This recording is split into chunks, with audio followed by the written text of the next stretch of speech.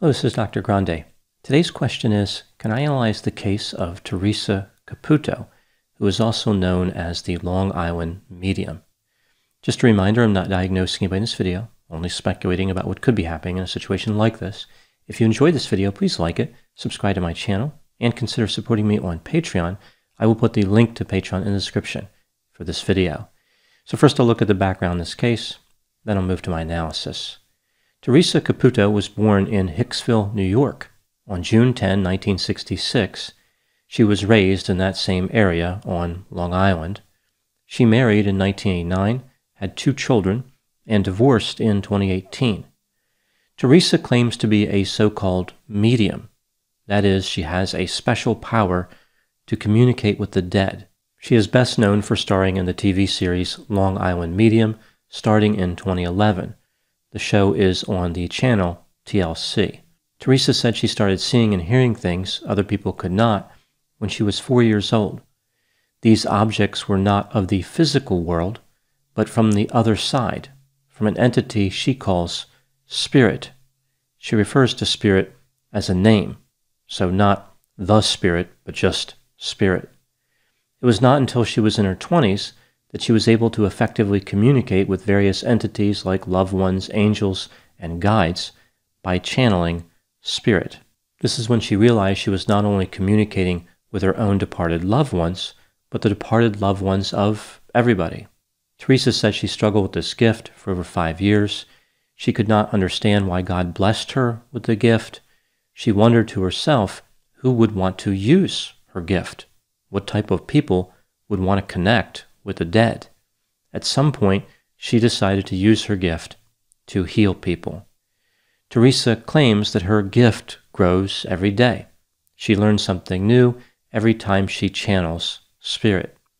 In addition to her TV show, Theresa performs at live shows. She said that she starts by telling the audience what they can expect for the two hour show. She then starts to sense and feel spirit. She is guided around the theater by spirit directs her to stop in front of the person that they're speaking to. This allows Theresa to deliver the healing message. Theresa works with Spirit to validate the message, so she's trying to prove that she's really communicating with the customer's departed relative. This is done by generating information specific to that person, something the customer will recognize. At the time making this video, Theresa continues to work and has had incredible financial success. According to her website, she's very busy. Many people want a psychic reading from her. She was booked for two years before the TV show aired, and now the waiting list to see her is even longer. It would appear that Theresa simply can't take people's money fast enough. Now, moving to my analysis. As is the case for every medium, psychic, or clairvoyant, there is no scientific reason to believe that Theresa has any type of special power. Yet she continues to claim to communicate with the dead. The main tactic she employs to convince people that she's really talking to the dead is referred to as cold reading. This tactic involves the insidious and non invasive collection of information from a potential customer.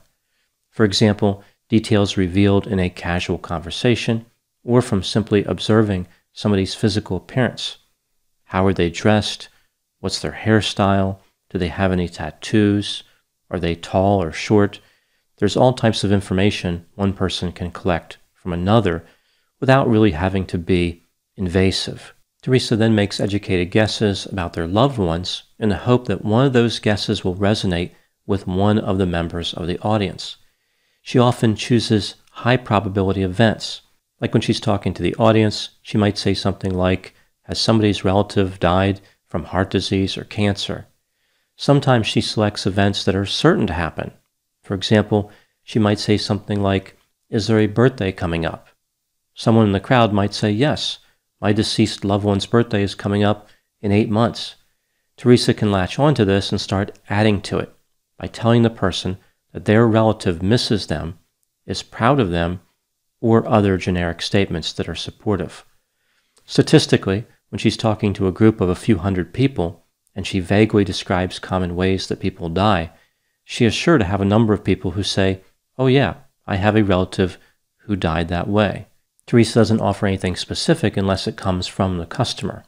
The success of her tactic is dependent on being vague. When video of this technique in action is edited to appear on television, the inaccurate guesses mysteriously make their way to the afterlife, leaving only the correct guesses behind.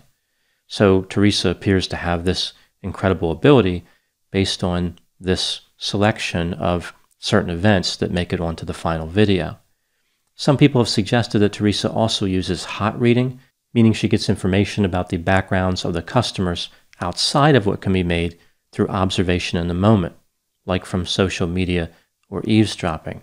This is information that the customer doesn't necessarily know that Theresa has accessed. Theresa's behavior has drawn a substantial amount of criticism. In addition to the standard criticism of all so called mediums, we see more specific criticisms.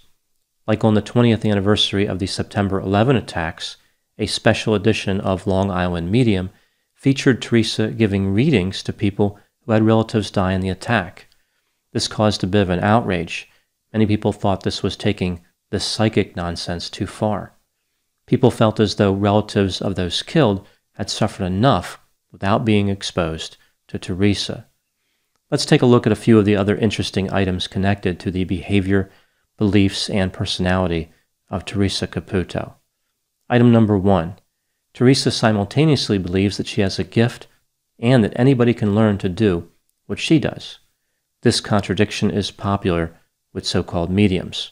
Item number two Theresa implies that practically speaking, she cannot turn off her ability. It takes more energy to block the souls than to acknowledge what they're saying. I find this item interesting because it's like she's saying, I can't help but do this. Don't blame me for being a medium. Item number three. In the introduction for one of her books, Theresa said that when she was younger, she had debilitating anxiety that affected every part of her life. She could not do everyday activities without panicking. She went to a therapist, but it didn't really make much of a difference. Then she went to see a spiritual healer and teacher who explained to her that the anxiety she was experiencing was because she was a medium and suppressing the energy of spirit. Essentially, what Theresa claims to believe is that the energy of spirit entered her head, but she blocked it with her chest, which led to an increased heart rate and the sensation that her body was heavy. Once she fully accepted her gift, the anxiety lessened. This item is notable because it features a common tactic with mediums and psychics. They make this argument that conventional mental health counseling will fail. Science doesn't find the truth. Competent licensed professionals really don't know what they're doing. If you want the truth, you have to go to a New Age nonsense broker. This falsehood is used to legitimize the business of psychic reading. Item number four Theresa appears to be particularly drawn to readings which involve a dead person forgiving a living person. One example she gives is a boy with a disability who died when he was four years old. His mother left the house one day, and the boy somehow exited the house using a sliding door and drowned in the pool in the backyard. The boy's father was supposed to be watching him. The mother blamed the father. They were on the verge of a divorce when they went to see Theresa. She told them that the boy spoke to her and said it wasn't the father's fault the couple stayed together. This particular tactic of telling people that their dead loved ones forgive them is a very powerful tool for mediums. It cuts through rational thought and taps right into emotions. People carry a lot of guilt and shame. Theresa can free them from these feelings, albeit with untrue statements. Theresa does more than just offer psychic readings. She has a number of lessons that are contained in the books that she has written. One of her books is titled You Can't Make This Stuff Up, which is ironic, considering Theresa's success appears to be totally dependent on making stuff up. The best way to sum up her books would be this they are like a collection of meaningless platitudes that are extremely non judgmental. If you want to believe one thing, that's okay. If you want to believe something else, that's okay too. It's a bunch of encouraging statements. Everything will work out. Just be positive. Don't be afraid of anything. Everything has a purpose. Look for messages in the world around you. Everybody's soul is at a level of learning. The more the soul learns, the higher its energy frequency, which she also refers to as vibration.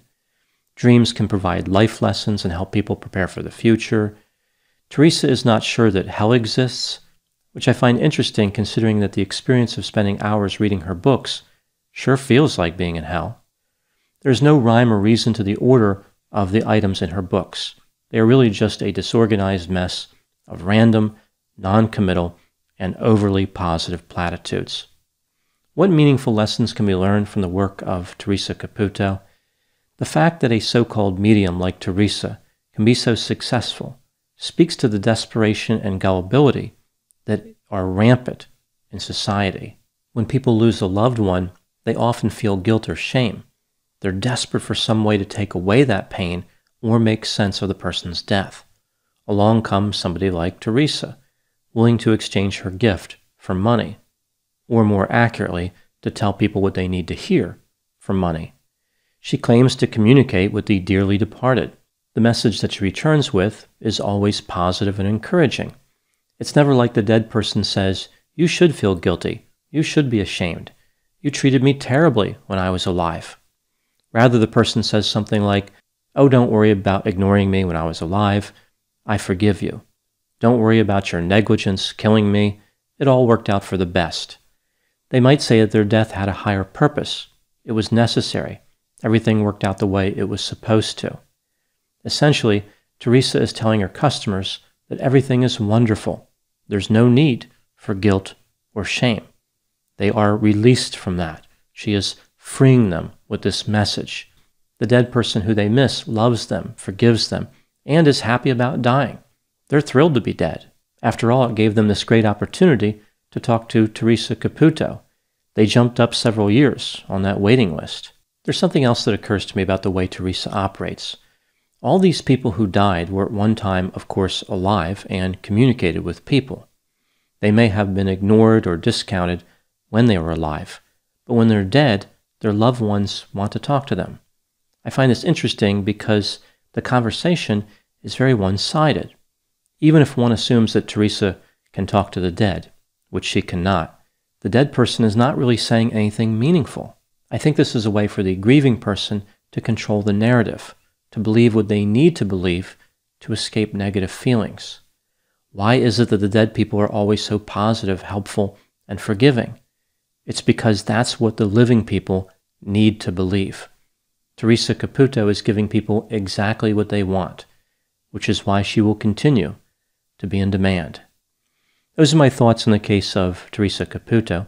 Please put any opinions and thoughts in the comments section. They always generate an interesting dialogue. As always, I hope you found this analysis to be more intriguing than vague, nonsensical platitudes. Thanks for watching.